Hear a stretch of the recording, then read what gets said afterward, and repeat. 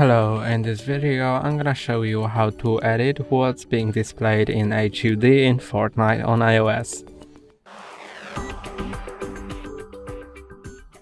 Click on your profile in top right corner, then settings, then click uh, here to enter game UI, HUD options, and here you can find all of the HUD options you can turn all of them off or on depending on your preference.